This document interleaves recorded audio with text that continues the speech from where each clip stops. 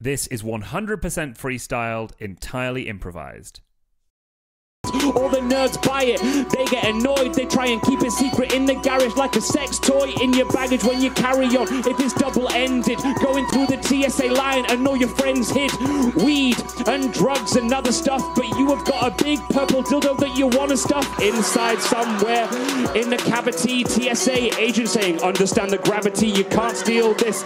Really trying to try it, you've got to disinfect it, remove all coronavirus samples. I know it's amply sized, I try and fit it down there between my thighs, and all the people on the x ray machine raise their eyebrows when they say, Wow, this one is green. You can't tell the color from the UV rays. I take this dildo, it goes on for days, and if you put it inside, it's a heck of a risk. You might get infected, need a urologist.